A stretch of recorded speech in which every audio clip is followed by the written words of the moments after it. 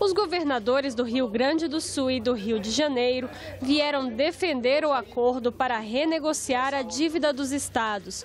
Luiz Fernando Pezão resumiu o motivo numa frase. Suspende o pagamento da dívida por, por, três, anos. por três anos. A moratória valerá apenas para os casos mais críticos. Somando todo o tempo, os estados terão até 50 anos para zerar as contas. O texto enviado pelo Poder Executivo tinha uma lista de contrapartidas para aderir ao novo prazo. A Câmara deixou apenas uma, que coloca um limite global para os gastos durante 24 meses. No Senado, o relator trouxe de volta a lista de exigências para os estados renegociarem a parcela da dívida. Contenções do crescimento automático da folha de salários, estabelecimento de regras mais rígidas para concessão de pensões, a realização de reforma administrativa e a realização de leilões para pagamento das obrigações com fornecedores.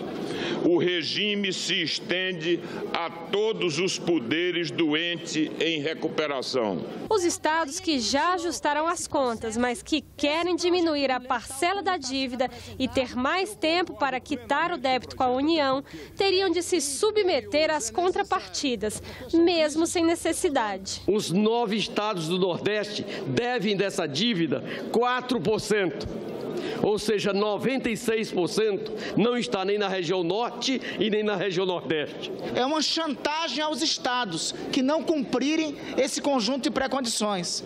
Uma das condições diz claramente: suspender a admissão ou contratação de pessoal a qualquer título. O aumento da contribuição previdenciária dos servidores de 11 para 14%. Os senhores estão aprovando aqui também congelamento de salário de servidor por três anos. Não pode nem reposição da inflação. Senadores da oposição tentaram derrubar as exigências, mas foram derrotados. O projeto volta para a Câmara dos Deputados.